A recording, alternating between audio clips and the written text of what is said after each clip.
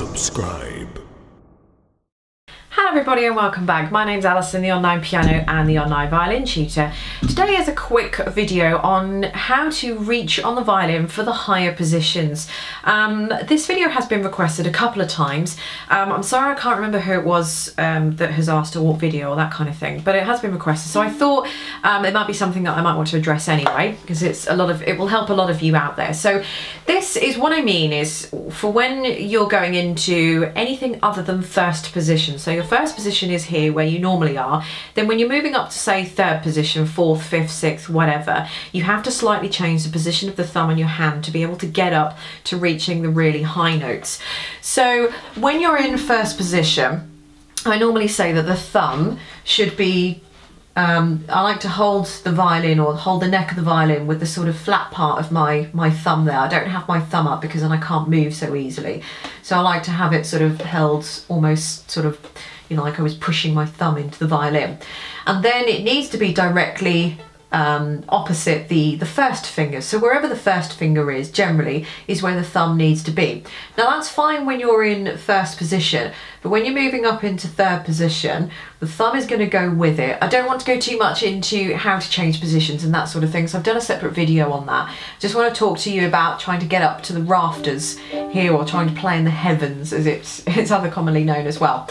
So when you get beyond the point where your hand won't go anymore here and you can't move up, which will probably take you to what, third, fourth, maybe fifth or so roughly position. And let's just say you've, you've got a mm-hmm. note up here, maybe you've got a mm-hmm. harmonic or you've got whatever you're doing, you're doing something up here towards this area. So you're, you're fairly near the bridge. Now what you then need to do, you need to keep the idea of, of having having the violin or having the neck of the violin with your thumb. But what you almost need to do is, is swing your thumb and swing your hand round so that you can grab the side of the violin. So you can you see that, I mean, I'm, I am making a bit of a bit of a, a, a, meal of things here and it wouldn't quite, I wouldn't quite be sweeping across if I was actually playing in a concert. Don't get me wrong, but, but when I'm sort of, I'm trying to demonstrate the movement here. So when you've got your thumb, you're swinging your thumb, thumb round. Can you see my whole hand is coming, if I do it from this side, my whole arm, my whole elbow is coming up.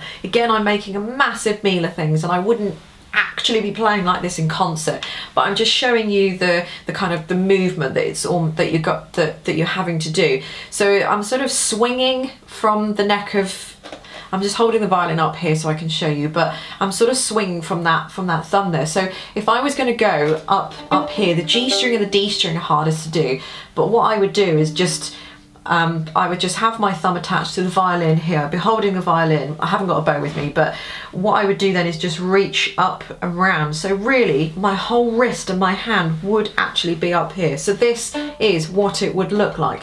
So you're going to have to keep your thumb there at all points. So you see you've got the little kind of knobbly bit that you get here where the um, where the neck reaches the body of the violin. I'm sort of against that bit now.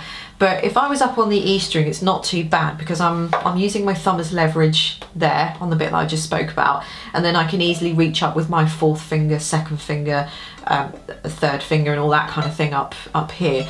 But over on the G string, then you're actually having to sort of lift your hand round. My hand isn't touching any part of the violin, by the way. I can sort of push my other hand through. So my other my this hand the finger hand left hand isn't actually touching any part of the violin because I want it to be free.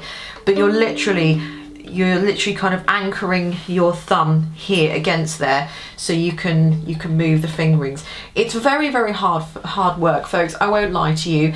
Um, I've played a piece of music called the Moses Fantasy by Paganini and that's where um, good old Paganini decided to write an entire piece of music all on the G string.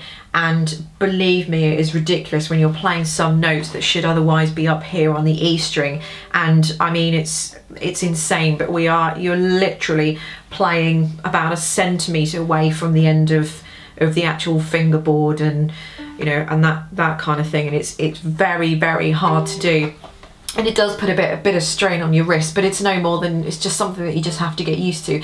As long as it's a good pain and not a bad pain if you know what I mean. You don't want to you don't want to be having shooting pains going up and down your arm and that sort of thing. You're obviously not doing something something quite right. So just just be careful folks when when you're doing this. Um you know I don't want to I suppose a bit of, bit of a disclaimer here, but you shouldn't have any problems. I've never heard of anybody having any problems, but as long as you're doing it right, you want to be levering from that thumb and up and up and round, and then you're sort of if, if you look at other violinists on YouTube that are playing up up in the rafters and things, you will notice the hand does look a bit kind of, it does look a bit weird in a way. This is what my hand would just look like from, from these angles. So yeah, it does look a bit odd that the hand is like engulfing and, and like practically eating the whole front body of the violin here, but that's what it's going to look like. So it's all about your thumb. Don't have your thumb anywhere else. You can't have your thumb anywhere else. Have it, make sure it's, it's, it is sitting on the neck of the violin. And if it needs to, it sort of sits in that sort of crook bit there. You can almost see where, where my, um, where the neck of the violin is. It's a lighter shade of wood and then it just goes into sort of a darker bit of wood here. So I want to be just sort of in that crevice there. So it's all about the thumb and it's all about the thumb from that angle, almost as if you're, you're sort of pushing something, pushing a piece of Blu Tack onto the wall. It's it's that kind of thing. So with the very pad of your thumb, and then you are, when you're there, you're as far as the thumb will go in that little kind of, that nice little nook that you've got there, and then you can just lift your hand up and round and you're ready to play right up in the rafters or in the heavens or you know, all the way up here and all that kind of stuff. So that is how to reach up to the, the higher register and the higher octave and the higher positions of the violin.